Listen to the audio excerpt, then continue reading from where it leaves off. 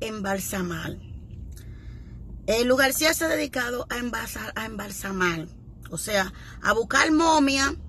y ponerla como cuerpo hot y reciclar, porque ella está reciclando, ella está repitiendo la misma gente, yéndose para los premios Juventud, una vieja, porque ella no cabe en premios Juventud con Yomara Loca,